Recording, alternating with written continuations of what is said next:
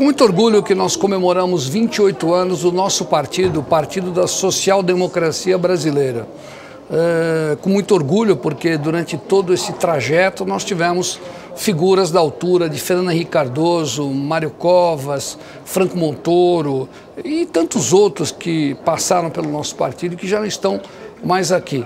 É, obviamente que nos dá orgulho, porque a bancada do PSDB é, tem se sobressaído aqui na Câmara Federal, o que demonstra o preparo, o trabalho, a densidade, a musculatura com que o PSDB dirige uh, os trabalhos aqui na casa e, obviamente, implanta políticas públicas voltadas a administrar o país como um todo. Há uma preocupação enorme, nós vivemos um momento muito difícil e o PSDB jamais virará as costas para o Brasil.